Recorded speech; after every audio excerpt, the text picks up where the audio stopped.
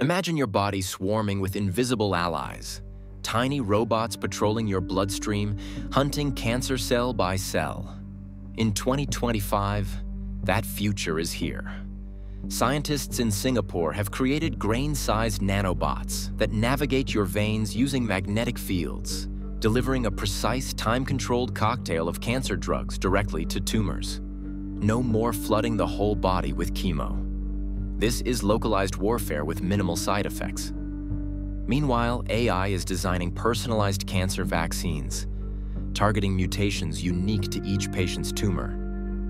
In Europe, radioactive nanoparticles like NBTXR3 are boosting radiation's precision, zapping tumors while sparing healthy cells. This isn't science fiction.